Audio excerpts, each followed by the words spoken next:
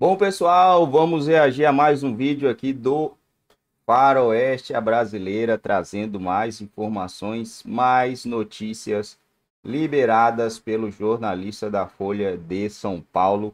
Acho que ele programou ali, né, para esse horário aqui da tarde, de todo dia, tá trazendo é, mais revelações.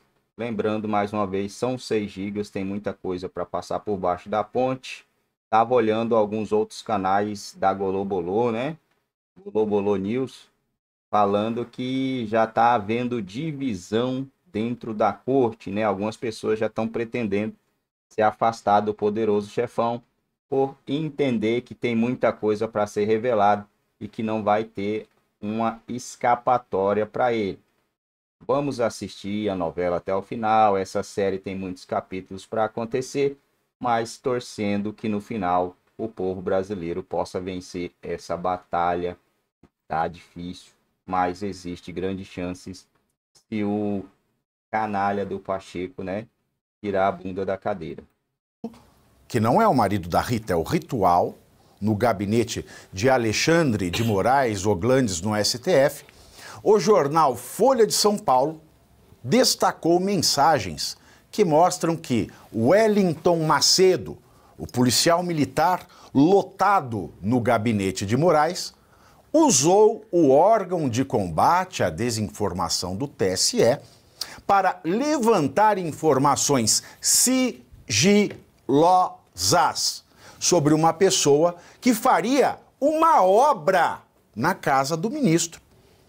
As conversas entre o PM responsável pela segurança de Moraes, e Eduardo Talhaferro, que eu carinhosamente apelidei de Tacaleferro, então chefe do órgão no TSE, Tacaliferro, chefe do órgão, também é muita piada, né? Indicam o uso de banco de dados da Polícia Civil de São Paulo para as pesquisas de informações que não podem, não podem registro não podem ser obtidas em plataformas de acesso público.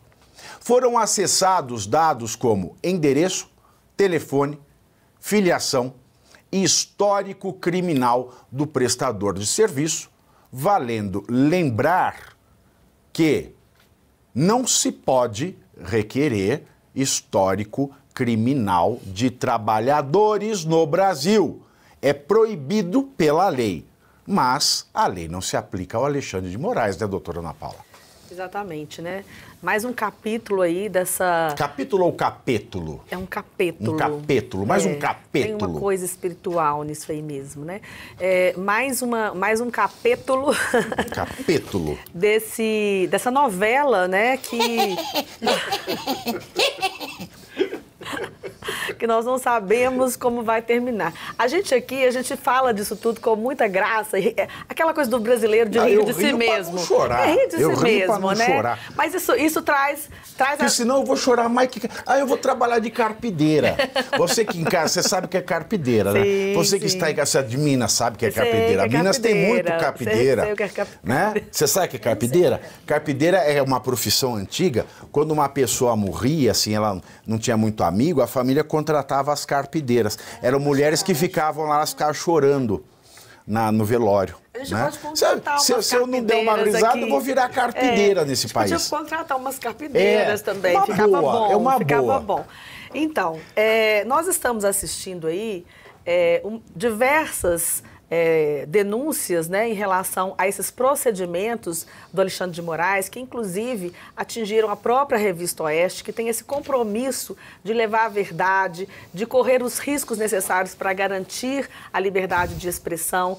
Nossa concorrência certamente não falará desse assunto. Não, tá, eu vou falar o que eles estão falando. Peraí, deixa eu abrir aqui. Ó. Pelo menos eles não com a aqui, nossa... Ó, é, presidente diz que ricos não gostam de pagar imposto. Pois é. Então, é, o Alexandre de Moraes já passou de todos os limites. Agora, infelizmente, não, não, não creio que teremos uma, uma reação à altura do nosso Senado Federal, em virtude dele estar sendo presidido ainda pelo é, Pacheco, que é senador por Minas Gerais, só foi eleito. Que vergonha. Por, só foi eleito para tirar a Dilma. Mas eu fico aqui me perguntando se não era melhor a Dilma. Em, to, em todo caso ele sai esse ano, né, no final do ano, e nós teremos uma nova uma nova eleição para o Senado. Então, eu, eu acredito que existe ainda uma luz no fim do túnel de nós termos, é, talvez, o pedido de impeachment do Alexandre de Moraes é, sendo encaminhado no ano que vem. Mas esse ano, com, com, Alexandre, com o Pacheco, será engavetado e as, as, as questões estão aí postas, os vazamentos, a vaza-toga, né, diversas irregularidades, perseguição. Ó, as que, a questão está aí, posta. O presidente do Senado está lá, bosta. Exato, exato. Eu, eu não...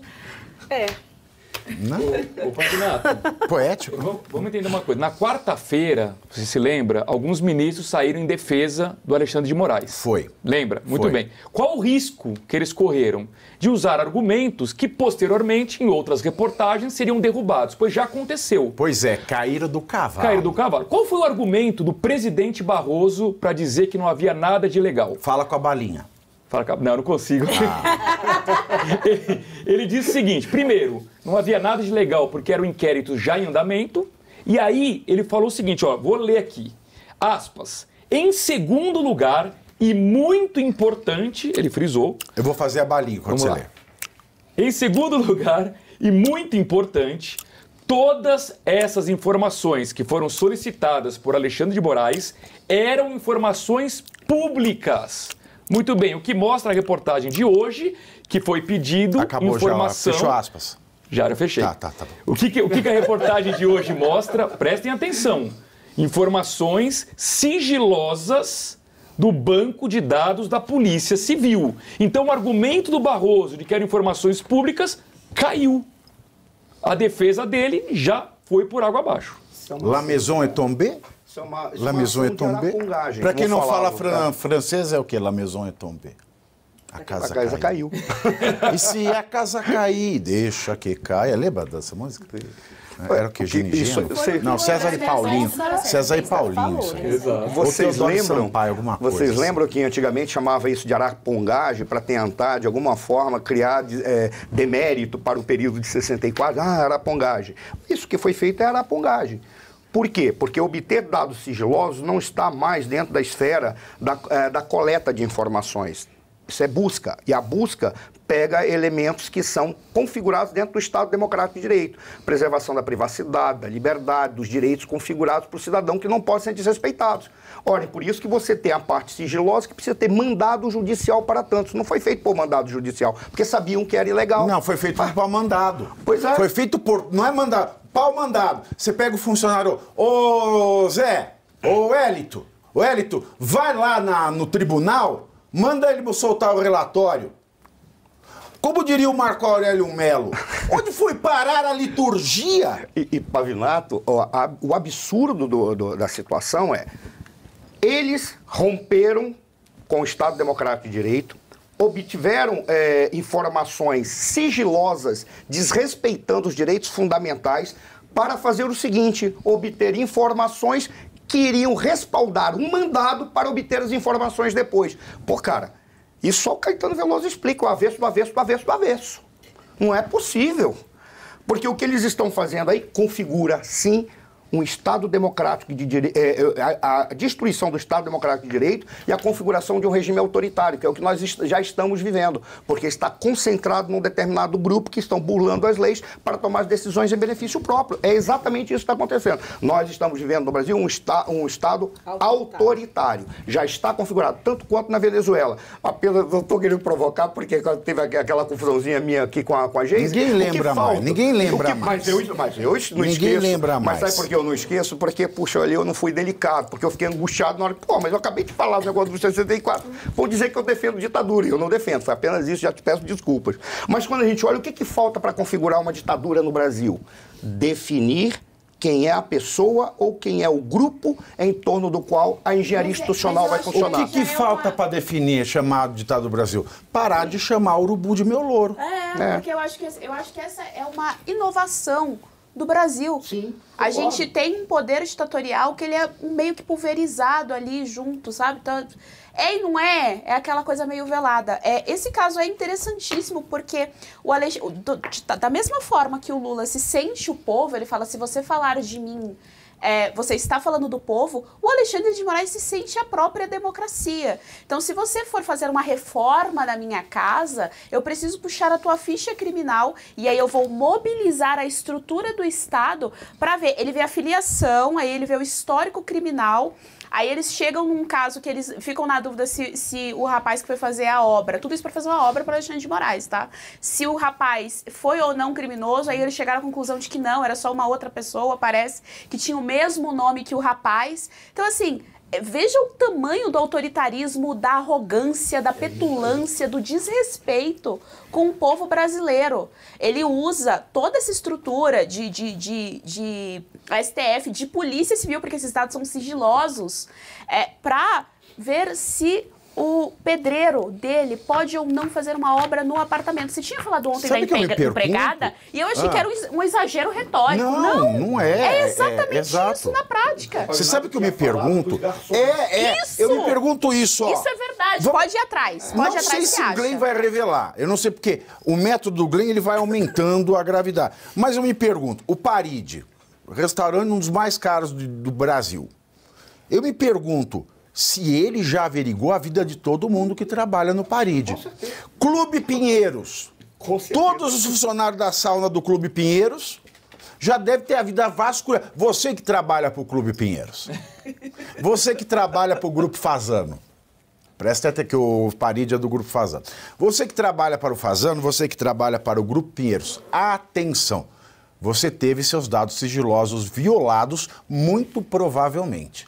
Abram o seu olho de cima, porque o olho de baixo já foi para casa do cacique. Ô, ô Pavinato, só, só, só queria colocar Claro. uma coisa. Olha como é grave, olha como é grave. Vamos imaginar que o ministro Alexandre de Moraes estivesse morrendo de medo de colocar um bandido dentro da casa dele, então ele pediu para averiguar. Ele Se- ia morar em outro lugar.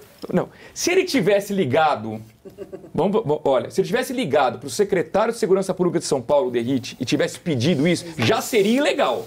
Já seria ilegal, mas talvez compreensível. Mas olha o absurdo. Além de pedir algo ilegal, o meio pelo qual foi obtido é mais ilegal ainda, porque ele usou a estrutura do TSE, que não é para isso, que por meio de uma senha emprestada de um policial civil acessou um dado sigiloso. É tudo errado. É? É, tudo errado. Mas isso tudo. mostra que o ministro ele é muito criativo. Isso é destruição do Estado Democrático de Direito. O juiz, o juiz, um, o auxiliar falou para pegar a revista Oeste, não tem nada, só tem matéria jornalística. Use a sua criatividade. Então a gente está aqui numa criatividade de democracia, uma criatividade de justiça. Né? E o Brasil, na verdade, não é uma ditadura. O que o Alexandre gente tá Moraes. o Alexandre Moraes, o que ele não faz, não é ilegal, tem tendência à ilegalidade. Nós estaríamos talvez inovando, cria, quero até Criativo, colocar aqui na criativo. mesa, se nós estamos criando uma espécie nova de ditadura de pesos e contrapesos. Porque aí nós temos o Lula, o Pacheco e o Alexandre de Moraes, cada um na sua esfera, né, na sua instituição, é, agindo aí de forma tríplice, né, como ditadores no nosso país, né? Então, assim, é realmente, qual, qual que é a sua opinião? Nós estamos A inovando? doutora Kátia, ela citou dizer que nós vivíamos o triunvirato. Ah. né? Nós tínhamos o Lula, alguém no STF e alguém no Congresso é, é, governando o Brasil a seu bel prazer. Ou pode ser o cachorro oculto da Dilma. Pode ser o cachorro oculto, que é o mais provável. O cachorro oculto deve estar, inclusive, disputando ou Porque, dando lembra, para o senhor, disputar o senhor leu Goethe, o senhor leu Fausto. Sim, Como é que Mefistófeles, o demônio ou Lucifer, chega Lucifer. para Dr. Fausto? Em forma de cão, o cão oculto. Hã? É, o ca- é, mas e agora, olha, olha que, que- qual é o receio que eu tenho de tudo que está acontecendo, tá? De que o atual presidente da República tire proveito disso tudo e venha com aquela ideia da restauração do Partido da Ordem, porque alguém vai ter que... tá- o ódio está todo sendo deslocado para as figuras do STF. Ele está tentando dizer que ele é um indivíduo equilibrado, porque fala isso, porque fala, fica falando bobagem.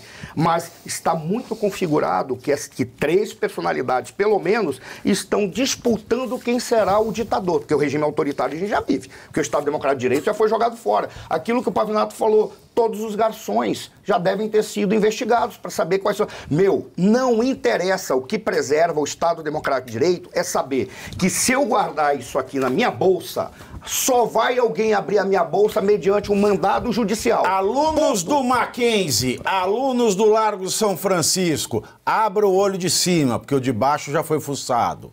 Mas é possível, é possível, viu? E aí nós já tivemos a morte do Estado Democrático de Direito. O medo que eu tenho é de acabarem fechando numa personalidade, vai, restaure você a ordem. Agora que triste, né? Imagina se o Alexandre de Moraes você não poder pedir uma comida pelo iFood.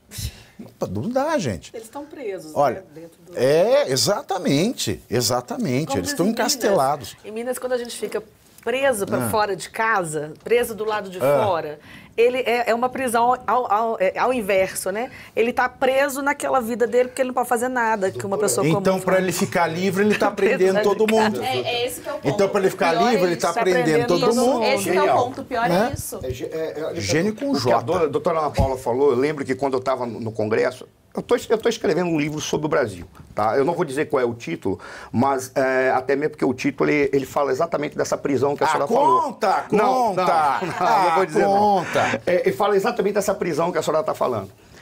Eles estão presos, mas tem um dado: eles são viciados nessa prisão. Porque eles têm a ilusão de estarem construindo a história. Por Mas é, peraí, eles peraí, estão. ó, corta pra eles são mim. viciados nisso. Vamos fazer o Pablo Marçal. Eles são viciados nessa prisão ou naquela prisão? Olha, eles são viciados em ambas as prisões. Por quê? Porque a sensação. Não tem coisa que, que entorpece mais do que a sensação de poder. Quando a gente transita Tem, tá? lá no Menina Congresso- veneno.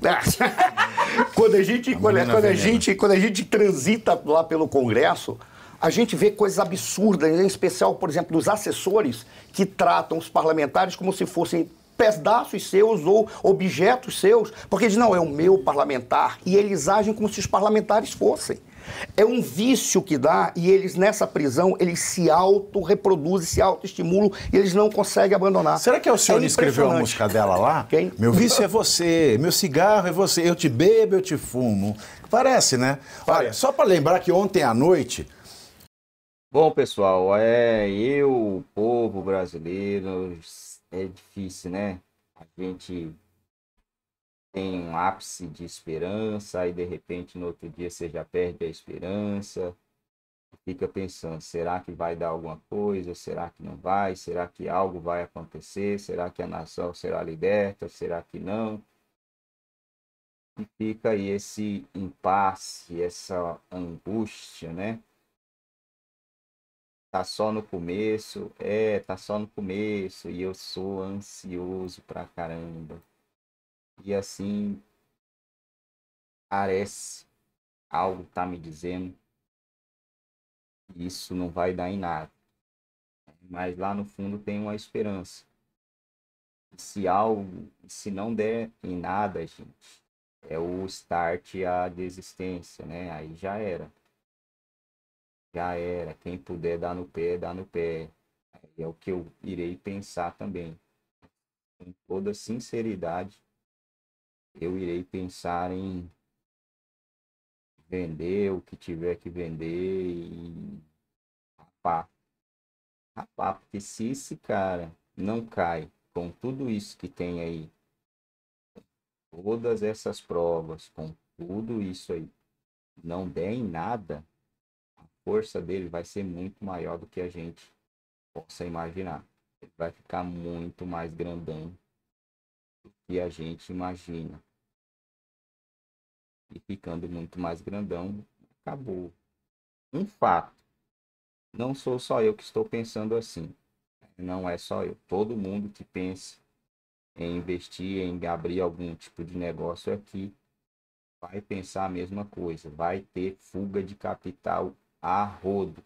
Obviamente que quem tem seu negócio, a empresa funcionando aqui, vai tentar deixar ela funcionando o máximo que ele conseguir, mas só que o capital e ele já vai estar em outros outros lugares, né? Outro outro país, para fora daqui. Porque o risco do dinheiro aqui virar lama, virar nada, é gigantesco. Sanções americanas praticamente certeza que o Brasil vai sofrer. Já ia sofrer do jeito que estava. Aí você imagina com toda essa revelação, vai sofrer piores ainda, né? E como o jornalista disse, o poder, cara, ele ele leva a pessoa a um e é um poder fictício, né? Não é poder, poder, né? Você tem um poder porque você tem um cargo, não é porque você tem um poder mesmo.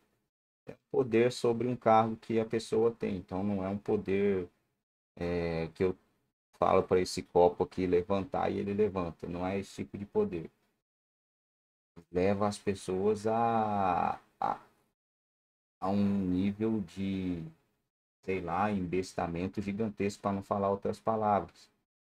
E conforme o cara vai se sentindo que ele é um deus, cara, a qualquer pessoa para ele é como se fosse uma formiga e ele vai lá e esmaga. Olha o que fizeram com a mulher que pintou a estátua. Escrito perdeu mané. Mulher tá presa. Vai pegar 17 anos. E aí? 17 anos por pintar uma estátua perdeu mané. E ele sai muito vivo dessa situação. Vivo no sentido figurado, óbvio, né? É, sai, continua exercendo seu cargo normalmente. Cara, já era. Não vai poder falar mais nada. Aí vai só se concretizar tudo. Será que esse jornalista não faz parte aí também de um plano para fortalecer mais o cara? Cara, eu não duvido, gente, eu não duvido. Se as mensagens estavam, ah, teoria da conspiração, não sei. Se as mensagens já estão circulando em São Paulo, em Brasília, há mais de três meses, não seria proposital, tudo é, como é que fala, entrelaçado entre eles. Vamos soltar isso aqui e sentir a o que o povo vai dizer e eles vendo que não vai dar em nada, gente te coloca num pedestal maior e aí concretiza o que todo mundo já está vendo que está acontecendo. Eu penso em milhares, centenas e milhares de coisas, porque não, não dá, gente, não dá para isso aí não passar impune, infelizmente. É o que parece, né? É o que parece. Culpa do Pacheco. Culpa do tal do Pacheco.